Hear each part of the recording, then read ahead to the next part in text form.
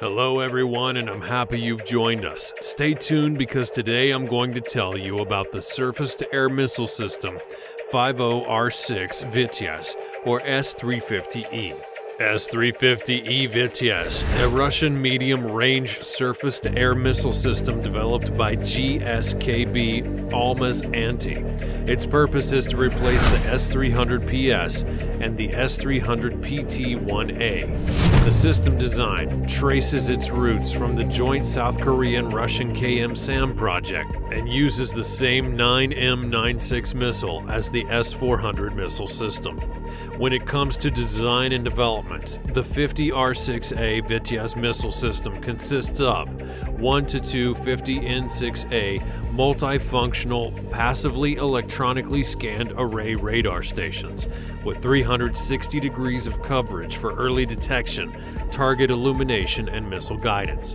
1 50K 6A command post, fully autonomous combat, work with interaction with other remote systems. 1 8 50P6 launchers, 9M96 and 9M96E guided missiles, passive guidance and other missiles with active homing guidance, 12 to 120 kilometers of range, aerodynamic control surfaces, and jet engines of control surfaces. 9 M100 guided missiles, 10 to 15 kilometers range, infrared passive homing, aerodynamic control surfaces, and jet engines of control, maximum maneuver 60 G20 surfaces.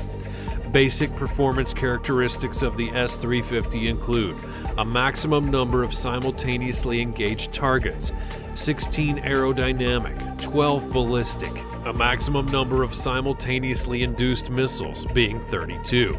An affected area of aerodynamic purposes includes a range of 1.5 to 120 kilometers with a height of 10 meters to 30 kilometers. Affected area of ballistic targets includes a range of 1.5 to 30 kilometers and a height of 2 to 25 kilometers with a deployment time of 5 minutes. When it comes to deployment, in September 2017, it was reported that the missile system was deployed in the town of Masyaf in Hama province, Syria, delivering from Russia via the Tartus port. The first launches made on March 26 of 2019 were positive and the air defense missile system successfully passed state testing. In late December of 2019 at Kapustin Yar, the S-350E was officially handed over to the Russian Ministry of Defense.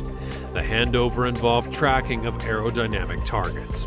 In February of 2020, the S-350 Vityaz was officially commissioned into the service of the Air and Missile Defense Forces as the new missile system had been delivered to Zhukov Air and Space Defense Academy to train crews for the equipment.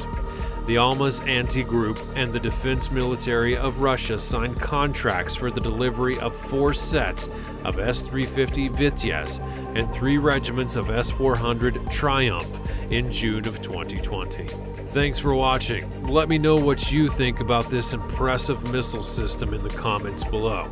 Also, be sure that you're subscribed with the bell turned on so that you can be notified about more great videos like this one in the future. I'll see you next time.